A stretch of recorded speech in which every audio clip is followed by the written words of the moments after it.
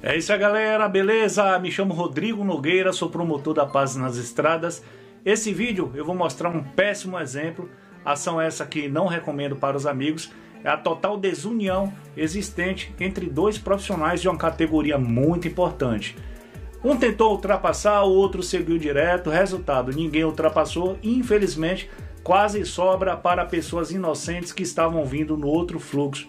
Atitudes assim devem ser repudiadas e esse vídeo é a prova. O maior perigo das rodovias vem da ação dos imprudentes, independente do veículo que conduza, seja motocicleta, carro, caminhão, ônibus e etc. Esse fato ocorreu na BR-116, sudoeste da Bahia, no limite dos municípios Cândido Sales e Vitória da Conquista. Ele não sabe, ele não entende, ele sabe.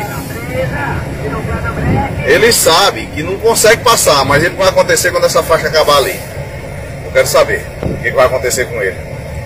Né? O cara com um molho de ferro desse aí, né? Ninguém chega perto dele, né? Mas a faixa vai acabar bem ali. Vamos ver o que vai acontecer quando a faixa acabar, né? Vamos ver. Eu vou filmar até lá para nós assistir o que vai acontecer quando essa faixa acabar. Fim de faixa adicional a 300 metros. Olha o tamanho da maldade do coração desse rapaz. Nem ele foi, nem nós foi, e ele não tira o pé pro cara entrar na faixa lá. Vamos ver, vamos assistir. Vamos assistir o que, que vai acontecer. Vamos ver. Vamos ver. Vamos ver. Vamos ver o que, que vai acontecer.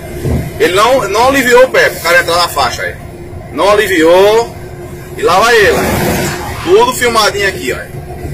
Eu não quero chegar nem perto, porque eu tô vendo que isso aí vai dar uma merda do tamanho do mundo. Olha pra aí. Tirou o outro fora da pista. Aí. Vendo aí, ó? Lá vem mais. Lá vem mais caminhão saindo fora da pista. Aí. O cara do rodotrem tá querendo entrar. Esse aqui passou perto dele agora. Olha aí. Vendo? Olha o monte de gente que tirou fora da pista. Tá? Olha pra aí. Vendo um monte de gente que tirou fora da pista? Por isso que acontece essas cagadas. É isso aí, galera. Bom, pessoal, por atitudes assim, muitas vidas são ceifadas. Vocês viram? Muita imprudência envolvida, muita gente saiu da pista. Realmente poderia ser um acidente trágico, fatal. E aí você deixa o seu comentário.